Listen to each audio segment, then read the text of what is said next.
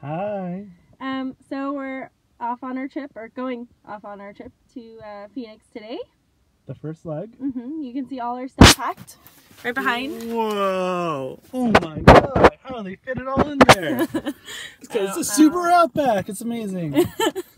Um, yes.